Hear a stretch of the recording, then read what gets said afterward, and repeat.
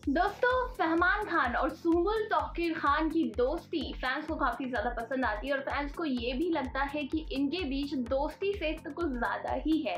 वही दोस्तों, फहमान खान ने अब इस पर अपनी चुप्पी तोड़ी है और जब उनसे पूछा गया कि पर्सनल लाइफ के बारे में जब उनके लिए कहा जाता है, ये सब बातें सामने आती है तो उनका क्या रिएक्शन होता है? तो इस पर फहमान खान ने कहा कि मैं पर्सनल लाइफ में बिल्कुल अलग हूँ और मैं ज़्यादा शेयर भी नहीं करता अपनी पर्सनल लाइफ लोग अक्सर मुझसे कहते हैं कि तुम इतने बंधे बंधे से क्यों रहते हो, खुद को रेस्ट्रिक्ट क्यों करते हो? लेकिन मैं ऐसा ही हूँ, जब मैं काम करता हूँ, मुझे बहुत अच्छा लगता है काम के बारे में बात करना, अपने रोल को डिस्कस करना, लेकिन अपनी पर्सनल लाइफ को शेयर करना मुझे बिल्कुल अच्छा नहीं लगता, मैं ऐसा हूँ ही नहीं, इसीलिए मैं रियलिटी शोज़ भी नहीं करता। और जब फहमान से सुम्बुल और फहमान की बॉन्डिंग के बारे में पूछा गया और कहा गया कि लगातार आपकी डेटिंग की खबरें आ रही है तो फहमान ने कहा कि हम बहुत अच्छे दोस्त हैं, हमारी दोस्ती बहुत ज़्यादा रेयर है और हमें कोई फ़र्क नहीं पड़ता कौन कौन क्या कहता है, हमारी फ्रेंडशिप बहुत अलग है और दूसरों के कहने से ये फ्रेंडशिप बदलेगी नहीं। तो दोस्तों, आपका क्या कुछ कहना है इस बारे में, नीचे कमेंट सेक्शन में ज़रूर बताइए